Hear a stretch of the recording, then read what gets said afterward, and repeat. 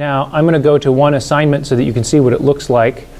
If I go in, then I can see all the student work. So now we're inside this assignment and we can look at the instructions or the student work. And you can see that uh, I've assigned grades for these students out of 15. That's something that uh, you can choose to manage as you like. Um, and I've returned them. So in this Um, case, for this student, um, he submitted his uh, W1. I uh, uh, gave him some comments. Um, and then this was a private comment just to him. And then this was a comment to the whole class.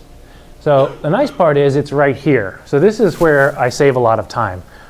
I get to just click that, and then I go right into his assignment. And um, as you can see, it loads into uh, Google Docs. I'll zoom out a little bit.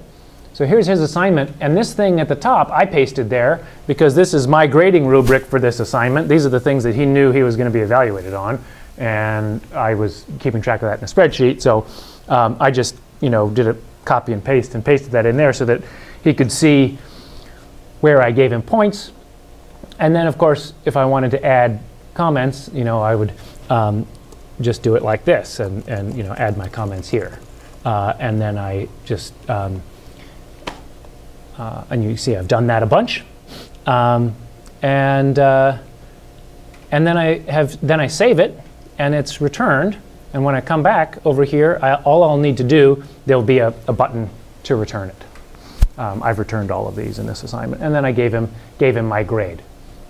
My grading and my communication with the students is all sort of seamless with the document itself. Uh, that's the part that I really like.